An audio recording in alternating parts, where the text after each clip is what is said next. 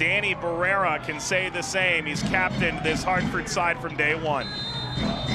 The USL Championship on ESPN is powered by Hisense, and it comes to you from Hartford, Connecticut. Hart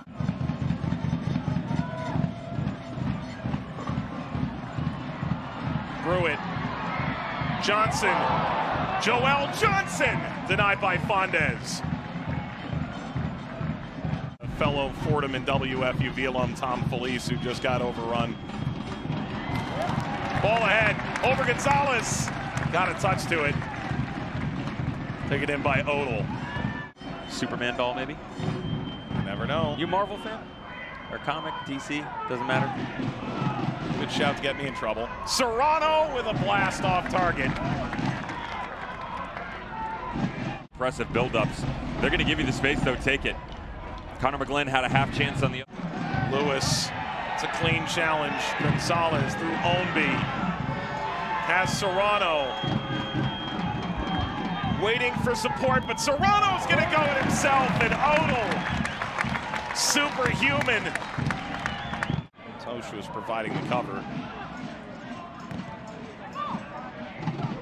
Pinged off of Barrera, Perpa, Obregon. Obregon!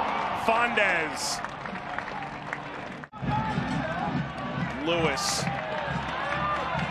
Sprinting into space. Ball whipped off the post by Saydee. And for distance, McGlynn. Quicker decision and better execution. Corner for Louisville.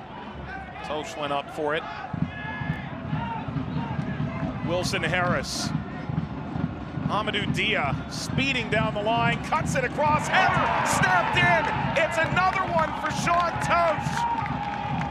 And Louisville City tucked in, locked in on the road. On their own defense in the first half, not the case here. This is a great run by Amadou Dia. Danny Barrera does not get the help, and as good as he's been. Then they'll welcome Phoenix, the midsummer meetings for the championship taking place in Louisville, and we'll have coverage on E ESPN2 July the 20th from Lynn Family Stadium. Gonzalez bounces in front, finishing touch, Del Piccolo. It's a second for Louisville.